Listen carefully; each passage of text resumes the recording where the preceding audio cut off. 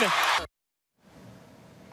Well, it's time now for our last call. It was a perfect ending to their perfect season. The South Carolina Gamecocks could not be stopped. They defeated Iowa 87 to 75 in a close and thrilling game, and they've won their third national title now in seven years. Uh, many of their players shining in the moment, including Tessa Johnson, who led the team with 19 points off the bench, and Kamilla Cardoso with a game high 17 rebounds. Meanwhile, Iowa superstar Caitlin Clark scored 30 points in the final game of her collegiate career. Her team season ending in the championship game for the second consecutive year. Uh, Clark sharing a beautiful farewell message, a photo of her jersey on Instagram after the game. Simple, writing, I'll miss you. Uh, also, the men's championship, by the way, it's down to Purdue and the reigning champs UConn. That's tonight. I want to bring back our panel here for more on this. So, uh, LZ, let's jump right in here. What did you think of South Carolina's historic undefeated win here? Absolutely incredible. Congratulations to the young women and, of course, the fantastic coach. 2020, Kana, is the most important year in women's basketball. When you think about what the women of the WNBA did during the bubble, when you think about the recruiting class that includes Caitlin Clark, and then Las mm-hmm. Vegas going to the championship that year, 2020 will mark down as the most important year in women's basketball history. Absolutely, right? That sort of snowball effect that started in 2020 that I know that you covered. Uh, Christina, what about you? Uh, what was your take on Caitlin's, you know, farewell? Well, I just love what you said. By the way, the men's team is playing later, right? Like this yeah. was the story of the NCAA championship was women playing. Caitlin Clark think about the millions and millions of young girls that watched and have been inspired by her. I'm not even a basketball player, and it made me want to go shoot hoops.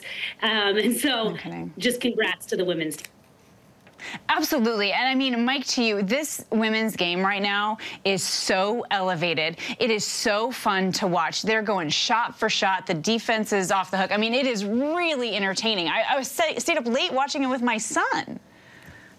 Absolutely. I think that is what's going to be really important. And I really hope that the NCAA women's basketball really takes this time in the offseason to create the narratives and to really unpack mm-hmm. really what this season was to continuously grow the sport so that this sport just isn't centered around one player, but around all the amazing, dynamic women that put their heart and soul on the court this season.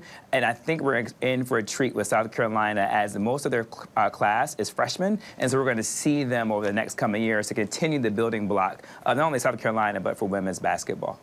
Yeah, especially though, I mean, you're right for South Carolina, right? If they have one of their leading scorers coming off the bench, I mean, what a bright future they have. And not enough can be said about Coach Staley and what she, what Coach Staley has done for those women on the court, but also off the court. She talks about grooming and teaching these young women and preparing them for life as well. Uh, John, I'm going to leave it to you to talk about the guys. You want to make a prediction for tonight?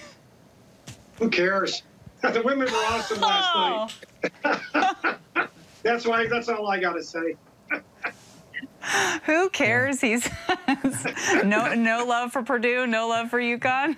uh-uh. God knows where the real game is at. Purdue what I will say, Kana, uh, about this is that the good thing about the women's basketball, why they have a moment to build upon this, is unlike men's basketball, they're not one and done normally. And so we're going to see these young women come back year after year versus in men's college basketball, we just see one and done, so we lose the stickiness uh, of college men's basketball.